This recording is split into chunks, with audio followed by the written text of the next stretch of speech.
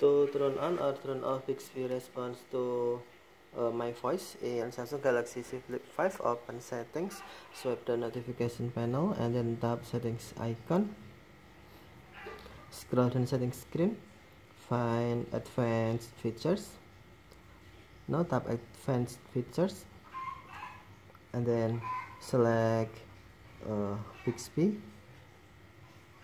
oh, sorry select Bixby next tap Bix, uh, sorry tap voice wake up. And then on respond to my voice. Tap switch until Bluetooth turn on or tap switch until Creator turn off. Touch, uh, touch Bixby to recognize and respond to your voice. Or tap uh, respond to my voice and then tap switch until on to turn on or tap switch until off to turn off. Okay thank you for watching. Have a nice day